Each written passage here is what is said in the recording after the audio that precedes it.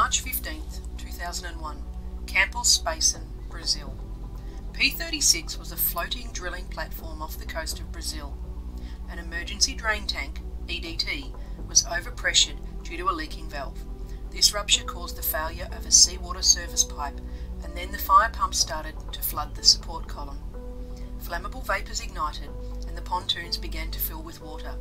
The platform was abandoned approximately five hours after the EDT burst and eventually sank. Eleven people were killed in this incident. Some lessons included lack of redundancy in design, poor placement of key safety equipment, alarm prioritisation is vital in an incident.